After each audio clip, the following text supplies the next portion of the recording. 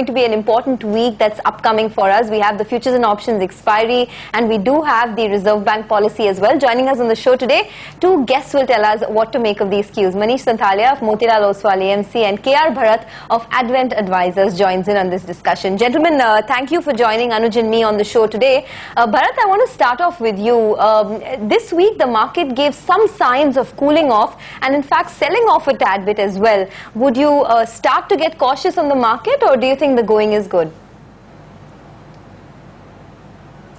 You know, notwithstanding the fact that the markets have been, uh, you know, going up and, you know, you've, we've seen, we've heard all this talk about new highs, I have continued to be cautious, as you're aware, as I've sort of uh, been saying often enough.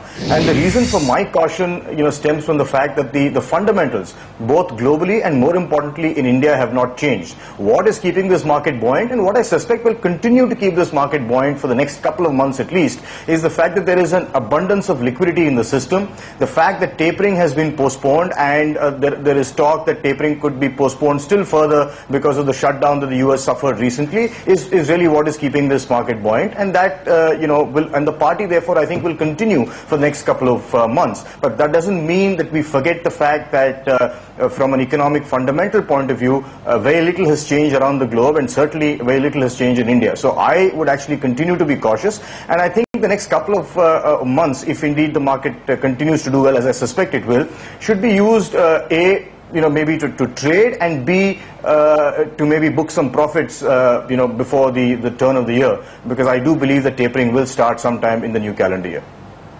Okay, so cautious on the markets, but perhaps liquidity could take this markets higher. Let's get our other guest in now. Manish Santhalia of Motilal Oswal AMC is with us. Uh, Manish, what's your view? Do you also concur that this has now become a trader's market and you can perhaps still, you know, get onto this bus, but with a shorter horizon? And if yes, what would be the stocks to look at? I think, uh, as mentioned by Bharat, uh, liquidity is abundant. You have a pre-Narendra Modi rally if uh, election results are favorable in the state uh, elections that's coming up, we'll see an expansion of the rally and uh, you know liquidity can expand your prices to earning multiples. There's nobody who can control that. Maybe it could happen on account of that. But uh, having put your point across, uh, I think uh, if the economy grows at 4, 4.5%, corporate profits in the two years of FY14 and FY15 grows at anywhere between 8 to 10%, if we are able to find stocks that can grow anywhere between 16 to 20 percent, I think you will beat the index hands down.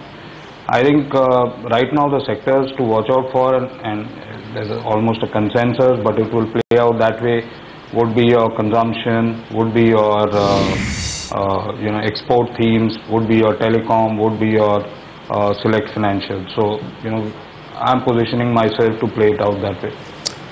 Bharat, uh, you know, uh, what's the call now? Do you think it's going to, or the history is going to repeat itself? Uh, we're going to hit an all-time high, retail is going to get sucked in, and then all of a sudden we'll have a big crack? I mean, is there a risk that something like that could play out uh, all over again? Okay, firstly, before I answer your question, the usual caveat. I mean, it's uh, it's virtually impossible to predict uh, uh, markets and certainly our equity markets. But yes, I think uh, I would tend to agree with you. Uh, I think uh, you know the play now is the liquidity play.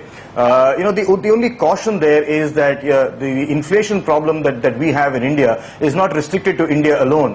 You know, China is facing its own inflation problems and there is a strong chance that they may up rates as well, which could lead to a sort of fall in, in, in prices of commodities across the board. But all indications are that until tapering starts or until there is a specific announcement from the US that tapering will start as of a particular date, the abundance in liquidity will see uh, markets go up. Uh, but the reality is that you know if there is a turn in this liquidity, uh, which I do see happening post the tapering, uh, then that will sort of see a reasonably significant correction in, in, in markets, and th that correction will probably last until such time as economic fundamentals take over once again. I mean, th those have been completely forgotten. So yes, I completely agree with you. I think this market will get pushed towards uh, newer and newer highs, uh, and but then I see, and the higher it goes, the more dramatic is the correction that I see happening uh, in the first quarter of the new calendar year. Manish, when the when the earnings season started, the worry was that this is going to be a washout quarter. Uh, but looks like there have been more positive surprises than negative surprises. Uh, do you think that's going to lead to maybe a change in sentiment and maybe this rally can be a bit sustainable? Look, uh, uh, the first half of the result season is always come uh, with uh, you know companies reporting better set of numbers. It's the companies reporting numbers in the second half of the earning season is what worries us. So, uh, you know, the public sector banks, you've just started the earning numbers start to come through. You have the capital goods, you have the infra companies, and you have the metal real estate sector.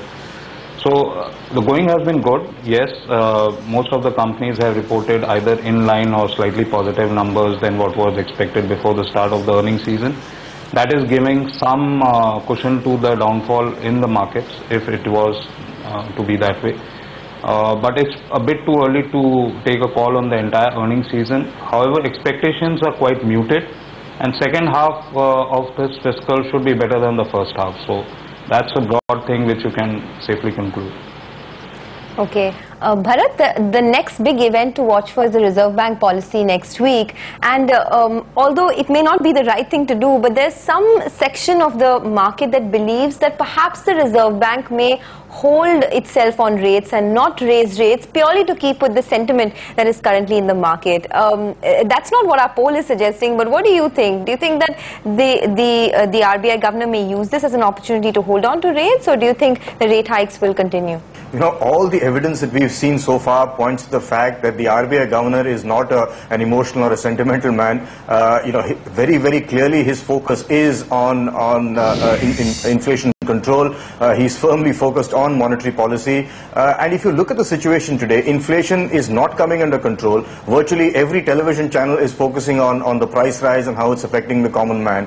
And, and I think his focus is going to be firmly on that. The second thing to, to take note of is the fact that um, he's actually said, and so has the finance minister, that the RBI is in the process of building a treasure chest of, of dollars to ensure that when tapering starts, we don't get affected to the extent that people fear that we may get affected. Uh, and if you take these two in conjunction, what that means is the RBI is buying dollars. Uh, oil companies have been told not to buy their requirement of dollars in one shot, but to phase it out. And so when RBI buys dollars in the market, they are releasing rupees. And, and, you know, while inflation control on the one hand is important, on the other hand, you're buying dollars, releasing more liquidity into the system, and there is a bit of a dichotomy there. Under these circumstances, I would bet, uh, you know, virtually. Uh, you know, my bottom dollar that you know the focus is going to be on inflation control, and I don't think you know uh, sentiment is, is going to play any part in the decision that is taken by the RBI. Okay, so how do you expect the markets to react then if everything plays as expected, if the Reserve Bank hikes the repo rate by 25 basis points and brings down the MSF rate, do you think the market will be disappointed or will that be factored in?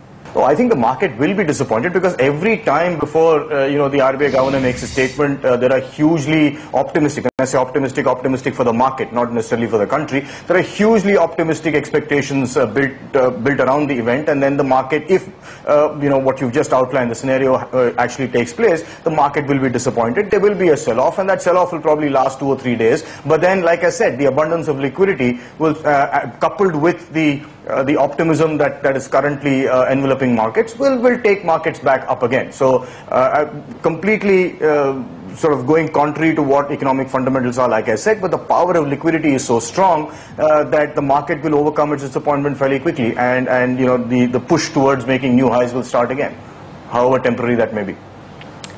All right, so for now, liquidity is king. That's the consensus view, and perhaps it, we will continue to discard weak macros. But we'll take